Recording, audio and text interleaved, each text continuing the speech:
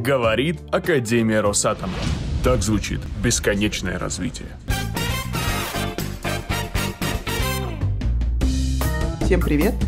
На связи Академия Росатома и я Варвара Буева. И сегодня я хочу с вами поделиться результатами одного исследования, проведенного при участии National Geographic. В течение пяти лет ученые проводили исследования по выявлению и изучению особых мест на Земле, называемых голубыми зонами.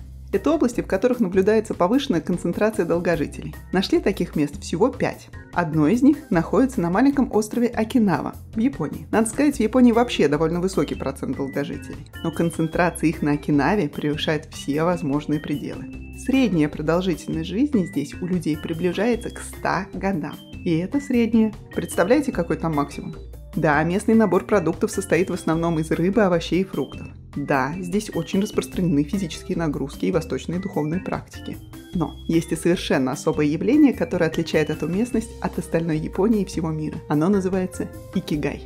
Икигай довольно сложно однозначно перевести на русский язык. Это слово, состоящее из двух частей. Первую часть ики можно расшифровать как «жизнь», гай как ценность, радость, смысл. Соединив эти две части, мы получаем что-то вроде ценности, смысла или радости жизни. Но сами японцы чаще его переводят как то, что заставляет нас просыпаться каждое утро с радостью. Икигай на Окинаве – это философия личного счастья, доведенная до абсолюта. Она проявляется во всем. В том, чем вы занимаетесь каждую минуту времени. Вот прямо сейчас. Неважно, пьете ли вы чай, общаетесь с людьми или сидите и слушаете какой-то подкаст про какой-то там остров в Японии. При этом ключевой момент, что вы действительно должны быть счастливы. И получать удовольствие от того, что вы делаете. Делать что-то и получать от этого радость – это и есть икигай. Он включает в себя четыре ключевых компонента деятельности.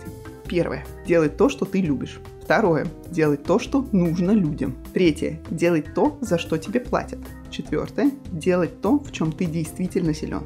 Сочетание первого и второго – делать то, что любишь и то, что нужно людям, рождают миссию, ну или смысл жизни. Сочетание компонентов «делать то, что нужно людям и за что платят» рождает твое призвание. Сочетание дела, в котором ты силен и в которое влюблен, рождает страсть. Любовь к делу, ну или у нас это понимается как некое хобби. Сочетание компонентов, в чем вы сильны и за что вам платят, рождает работу. А все компоненты вместе рождают икигай. То, что дает вам удовольствие от работы, деятельности и то, что заставляет нас просыпаться каждое утро с радостью.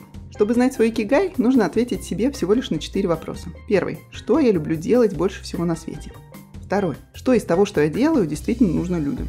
Третий. За что, за какие конкретные мои действия мне платят?